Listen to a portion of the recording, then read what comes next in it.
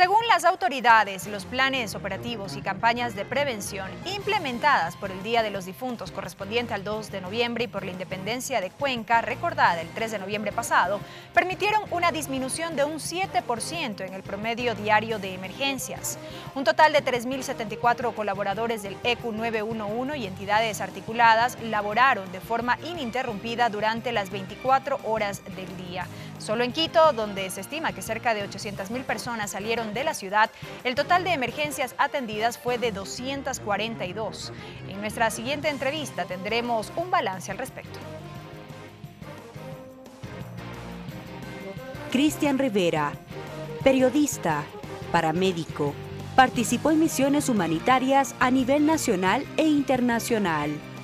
Director del Comité de Operaciones de Emergencia del Distrito Metropolitano de Quito. Cristian, ¿qué tal? Bienvenido a TVL Noticias, qué gusto. Hola, Belki. Siempre es grato conversar con tu audiencia. Pienso que a esta hora la gente está más relajada en su casita esperando las noticias que dan desde acá, desde este set.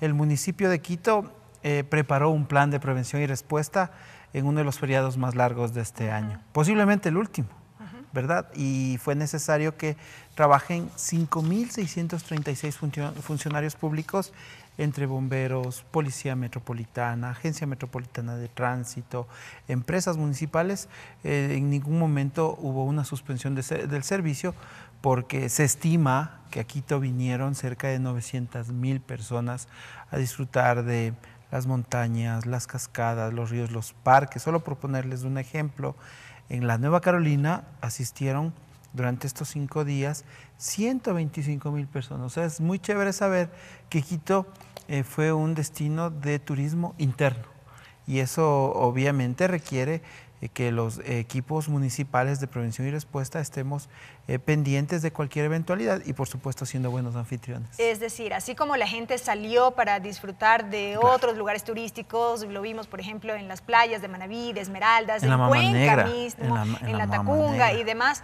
así mismo llegaron. Sí, es importante señalar que por ejemplo eh, a Quito se, estima que entre la, población más importante que, nos visitó, eh, más del 80% son nacionales, del 20% extranjeros, pero también eh, hubo algunos quiteños que quisieron disfrutar de las festividades de, Cuenca, de la Mama Negra, y en los terminales alrededor de 300 mil personas se registró a través de AMT que los buses trasladaron a estas personas eh, durante estos cinco días 34 unidades de transporte interprovincial, intercantonal, eh, no pudieron salir porque no cumplieron las normas de el labrado de las llantas, del estado de los, de los, de los parabrisas, no cumplían con las normas mecánicas y algunos conductores también cansados, por lo que la AMT no permitió que estas personas salgan.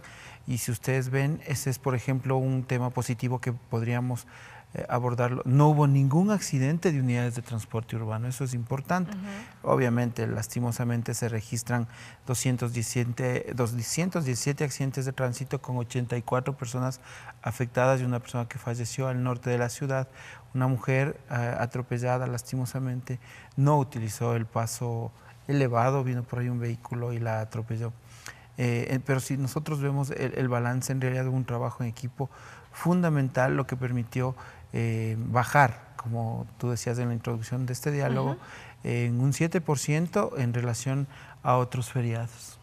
Precisamente ese es un tema de, destacar. Quizá algunas personas dirán, bueno, no es una cifra eh, tan relevante o tan importante, pero es una disminución que, que, cuenta y que es eh, digna de aplaudir en este caso porque se va notando que la ciudadanía va eh, adoptando las, las, medidas de prevención sobre la cual se hace mucho hincapié. Sí, diste en el clavo, mi estimada Belkis, porque es lo que proponen justamente los planes de prevención y respuesta que hace el municipio, reducir reducir, no desaparecer, eso nos va a costar muchos años porque necesitamos eh, que nuestra mente, nuestro chip, nuestra cultura de, gestión de riesgos cambie, pero sí la reducción de a poco, de a poco, y ya se nos vienen eventos como por ejemplo la caminata al Quinche, Navidad, y a eso estamos apuntando, ese es el eje, la prevención. Otro tema importante, eh, Quito eh, dio su contingente con bomberos y policía metropolitana en esta gran fiesta de la Mama Negra eh, que fue nominada hace 11 años como patrimonio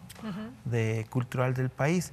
como ustedes saben, la gran cantidad de, de turistas hizo que estos gobiernos locales hermanos como el de la Tacunga y el, y el de Quito eh, unan sus esfuerzos con los equipos de prevención y respuesta y es así que el Cuerpo de Bomberos con su grupo de atención prehospitalaria y también eh, la Policía Metropolitana con su unidad de gestión de espacio público estuvieron, se hizo un buen trabajo, eh, se hermanaron estas dos ciudades y ese fue un aporte, eso, esos son algunos temas que queremos comentarles una vez que ya se ha, se ha, hecho ya la primera evaluación del plan de prevención y respuesta por este feriado. Hablemos un poco de lo que fue el, 2 de noviembre, eh, Día de los Difuntos, en donde vimos una gran afluencia de personas de los distintos cementerios eh, de la ciudad en este caso. ¿Cómo estuvo allí la capacidad de respuesta? Mucha eh, visita, mucho movimiento de personas, según el reporte de la Policía Metropolitana.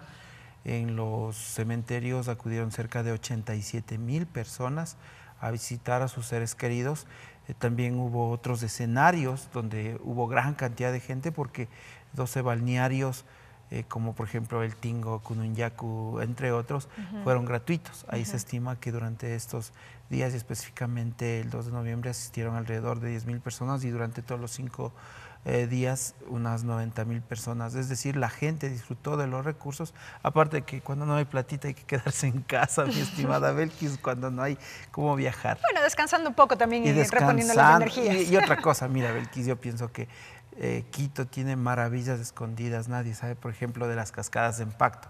Dicen, pero eso, no, eso no es Quito. Claro que es Quito. Usted de aquí coge a Nanegalito por el noroccidente, llega a Pacto, y tienen lugares hermosos. O por ejemplo, al sur de la ciudad, en la ecuatoriana, fuimos a un rescate de nueve excursionistas que se nos extraviaron por salirse de un sendero y yo me enteraba, a mí, en esta adolescencia que estoy viviendo, me enteraba que en, cerca de la ecuatoriana, en el sector Los Cóndores, hay unas cascadas hermosas. Entonces, eh, claro, la gente aprovechó estos lugares escondidos que tiene la ciudad para disfrutar en familia. Y hacia eso hay que seguir apuntando también.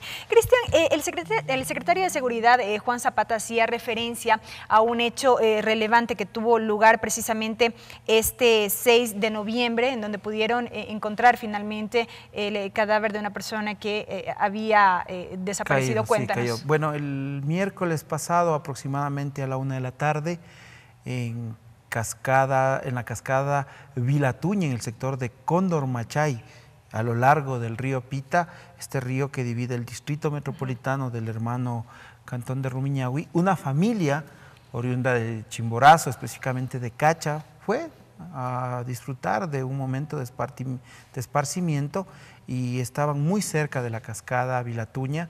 Uno de los más jóvenes, de 17 años, un sobrino del señor Toaza, se acercó de lo, de lo que nos comentan las personas en el lugar. Se acercó a lavarse las manos en el riachuelo, que parecía inofensivo, se resbaló y cayó a la corriente.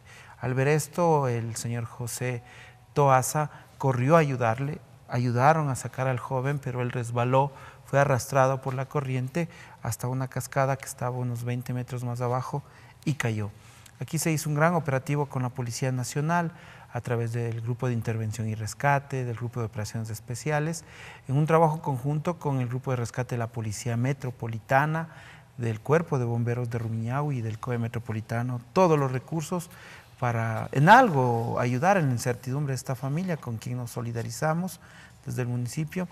Eh, tuvimos la participación de un helicóptero, se recorrieron 30 kilómetros desde este sector del Valle de los Chillos que se llama Cascada Vilatuña para que la gente un poco se ubique por el Molinuco hasta Huangopolo. 30 kilómetros recorrieron el helicóptero de la Policía Nacional, los drones de la Policía Metropolitana en los acantilados, perros de rastro de la Policía Metropolitana, personal a pie, los buzos del GIR se sumergieron y es así que este domingo a las 11 y 46 en una de las inmersiones que hizo un buzo del GIR encontró a cuatro metros de profundidad, atascado entre palos y piedras del cuerpo del señor Toas. Así que eh, se lo sacó y luego hubo que subir, había que subir una pared de aproximadamente unos 120 metros, lugar de difícil acceso.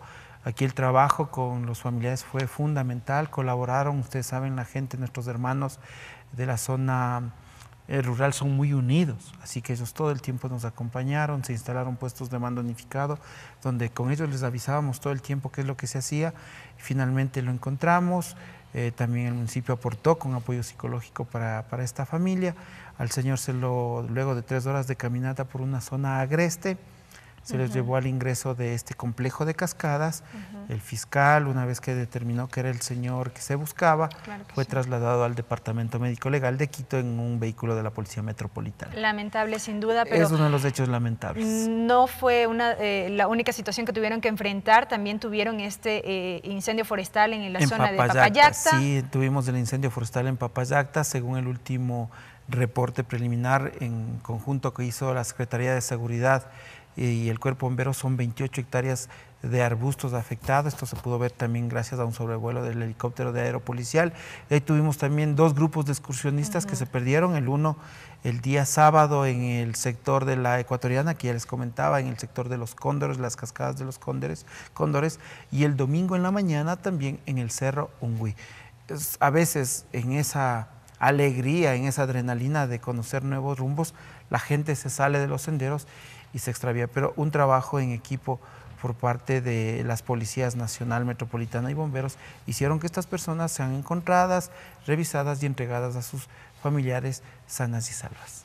Todo esto gracias precisamente a toda la planificación que ustedes han podido realizar y los operativos que han Sí, y un trabajo en conjunto que gracias a los micrófonos amigos como por ejemplo Televisión Legislativa pudimos difundir antes, porque tú cómo creas ese comportamiento, esa, esa actitud eh, de autoprotección. Es a través de ustedes, que son nuestros aliados estratégicos, y entonces la gente entendió algún día, algún día y ojalá no tengamos que reportar personas fallecidas, eh, personas heridas, si bien es cierto hay una reducción en accidentes de tránsito, en incidentes eh, o emergencias, sin embargo nuestra solidaridad porque se han perdido dos valiosas vidas. Entonces, mientras haya estos datos, eh, lastimosamente, que reportarles, pero vamos a apuntar a que, por ejemplo, ya ahora se nos vienen eh, operativos muy fuertes, como es la Caminata del Quinche y las fiestas eh, de Quito, Navidad y Año Nuevo, vamos a fortalecer esos planes de prevención y respuesta. Y siempre estas ventanas estarán abiertas precisamente para difundir toda esta información